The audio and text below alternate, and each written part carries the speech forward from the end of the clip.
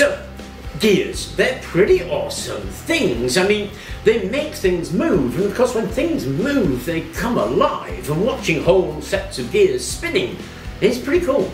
But it's not only that, I mean, their job is to move power from point A to point B and even bend it round corners. But beyond that, of course, people are captured by gears. So much so, you find people making table lamps of old gearboxes, and they look pretty cool in a kind of steampunk sort of way. And of course, steampunk has a ton of gears in it, or it wouldn't be steampunk.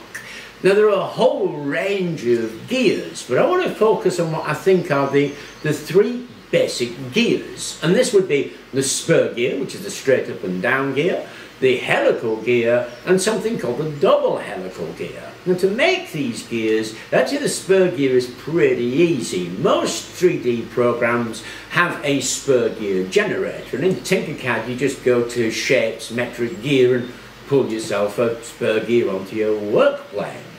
Helical gears can be a little bit more complicated, but again, they can be produced in any 3D program, and I've done a video on how to make helical gears in Tinkercad. A double helical gear, well that's just a single helical gear, chopped in half, flipped around and joined up so it makes a chevron. Now, although you can make these, they can be a little bit tedious. And the other option, of course, is to use something like a gear generator, of which there's quite a few. But the best one I would say, or at least the one I find really usable, is this one. It's really simple, it's free to use, and when you download it, you can get it in STL or DXF. And all you actually do is enter the parameters of the gear in terms of its modulus and number of teeth. That'll get you a gear really, really easily. So like everything, there are pros and cons. Spur gears are efficient, reliable, compact, and they're cheap to make, meaning you find them absolutely everywhere, but they are noisy and they're not as strong as other kinds of gears and they're limited in their distance from the centre to the edge so they have severe limitations. Helical gears on the other hand are much smoother and quieter and they can handle higher torques. They have a curious property that if you set the angle of the tooth at 45 degrees, then you can use them in pretty much the same way as bevel gears. Of course, bevel gears have other advantages, but we won't go into that now. The, on the cons list, they require pretty precise alignment and they are very expensive to make and they can be prone to wear if not aligned properly. Herringbone or double helix gears cancel out one of the major things about helical gears because helical gears are an angle and so they thrust and they're mostly used with thrust bearings along the axle. Herringbone gears balance out this thrust. They're also smooth and quiet in operation and the big issue with them is they're devilishly complex to make and so stupidly expensive. Although they are good for compact gearboxes, you actually don't find them that very much. Because we're about to 3D print, and in 3D printing, that really isn't an issue. It, it, costs the same to print a spur gear as it does to print a double helical gear. The other thing that's kind of cool is you can combine the gears because these gears, remember, come in the external normal arrangement and an internal arrangement where we're used to seeing them in things like planetary gearboxes. Now, of course, there are a ton of other gears, as I'm sure folks are going to point out. You've got rack and pinion, you've got bevel gears, you've got uh, cycloidal gears, all kinds of gears. We're just kind of focusing on those three. But what I want to do is use those three in an interesting way. So I came across this on Thingiverse, which I thought was pretty cool. But it didn't do what I wanted it to do, so I redrew the whole thing because there's quite a few changes I want to make to it. The first thing, of course, is the stand, which is made out of these three components. This arm, this arm, and a base. This arm goes into the base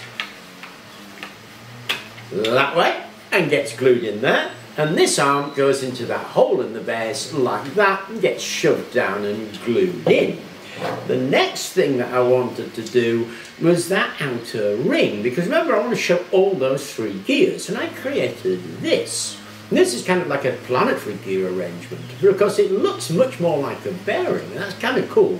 Now it's printed in place because the chevrons are set at 30 degrees, and they hold everything in place. But if I spin it, it actually makes a pretty good bearing. So this one I'm going to put up as a separate file that is a print in place planetary bearing using herringbone or double helix gears if anybody wants to play with that as a bearing because I thought it was really cool. And it uses our herringbone gears and shows what herringbone gears can do. It's locked them in place, and so we can make fairly tight tolerances because on these print in place bearings, what you often find is that the rollers they put in there um, twist, and they twist and make it difficult to use. This one, of course, because it's a herringbone, it can't twist and it won't drop out. So I thought it was really cool. The other thing I want to do with this is put a helical gear around the outside. So I'll put a helical gear around the outside and that, oops, that will slot onto the framework like that. I also printed this. This is a combination gear. It's a spur gear on the outside, but a herringbone ring gear on the inside, and that'll be the central ring. Now in the file, this is one whole ring. I didn't split it in the file. What I did was split it in the slicer because I'm using an Orca slicer variant and you can just split it and add little pegs to it to join it back together because that does need to be able to be split.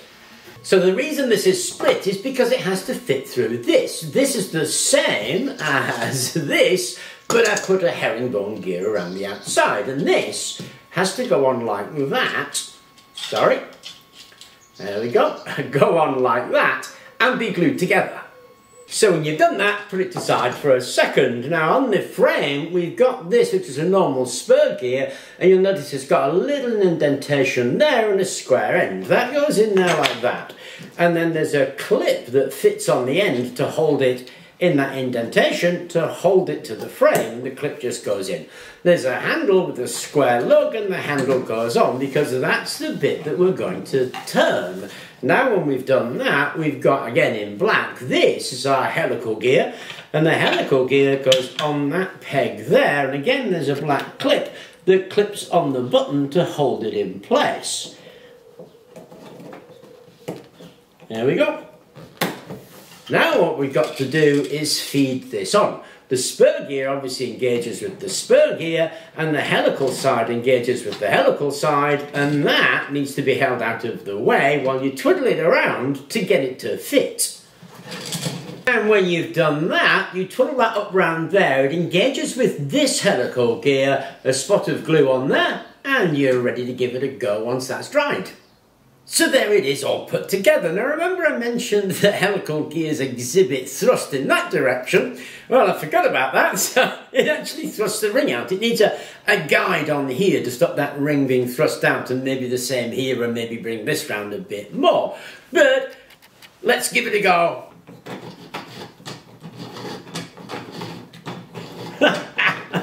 there we go. So the spur gear drives that in the same plane. This helical gear is driven by that. It drives that helical gear again in the same plane. Because it's 45 degrees, we can twist it through as we would do with a bevel gear, and then we drive these double helix or herringbone gears as a bearing through this outer helical gear that's on the outside of the ring. So I'll probably add those bits to it to stabilise it, but I'll put this up on Thingiverse as is, should somebody want to play around with this. And of course the whole idea is just to be have fun with gears because we are 3D printing. When it comes to 3D printing, we don't have the same uh, kind of constraints on us that the manufacturer has. In particular, the herringbone or um, double helix gears They've been really badly explored because they're so expensive to make and they're actually pretty awesome. Citroen installed one of these as a bevel gear in 1927 in a uh, water turbine and generator, and it continued as decommissioned in 2011 and it was flawless in its operation. So using herringbone gears as bevel gears is something that is well worth exploring, plus a whole host of other things. Anyway, this is a little model that shows some of the aspects of those three basic gears and some of the orientations we can use it in. I hope you enjoyed the video. Thank you very much for watching, and please do remember to like and subscribe.